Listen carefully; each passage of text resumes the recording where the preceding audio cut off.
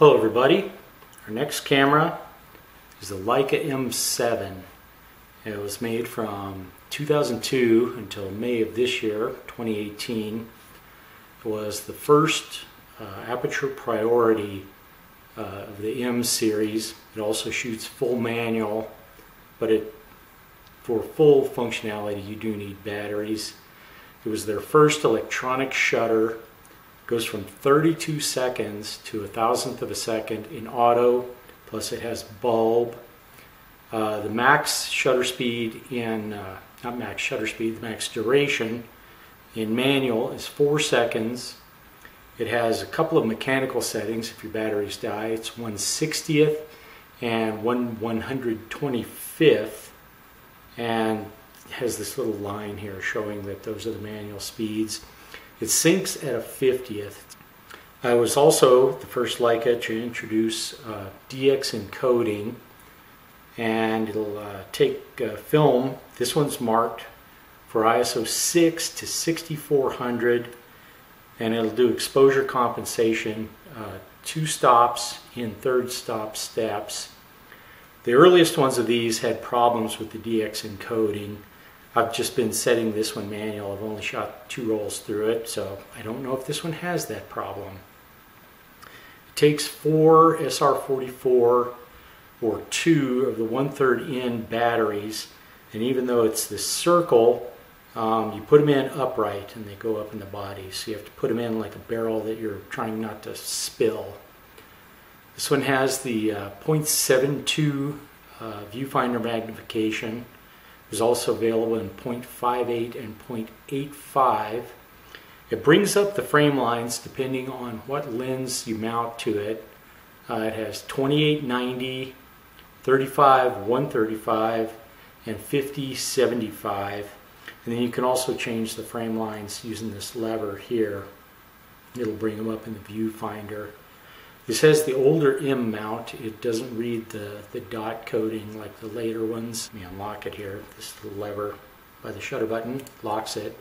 In the viewfinder, when it's in automatic mode, put it in automatic mode, it brings up the uh, shutter speed that it's selecting based on the aperture that you have selected here.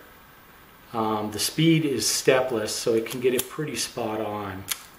And if you're in one of the manual speeds, it's got kind of a chase the dot thing. It's got arrows that either point this way or this way, and then a dot in the center um, showing that you got the exposure.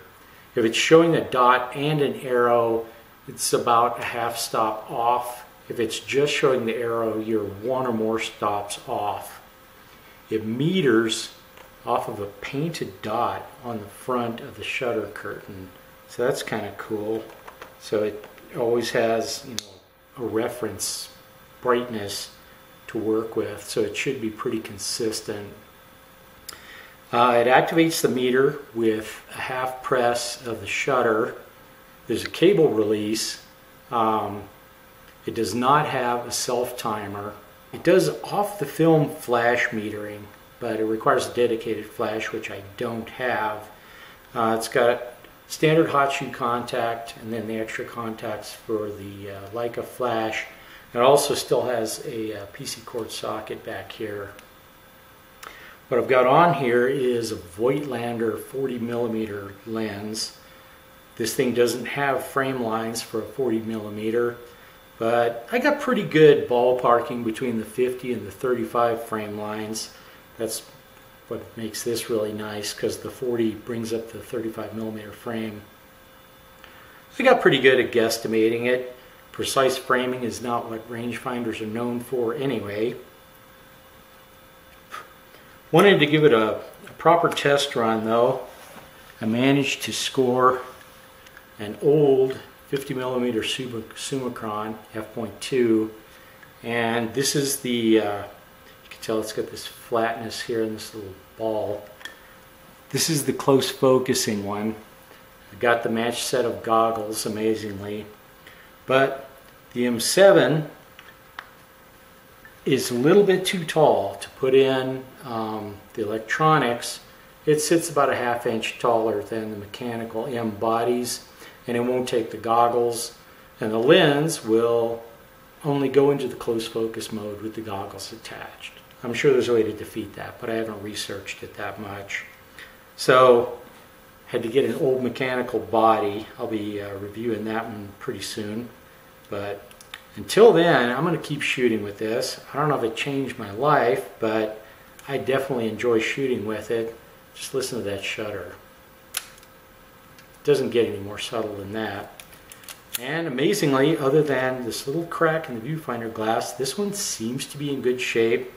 I got a really good deal on it. It's the only way I'm going to afford a Leica. So I'll keep shooting with it, and I'll see you then.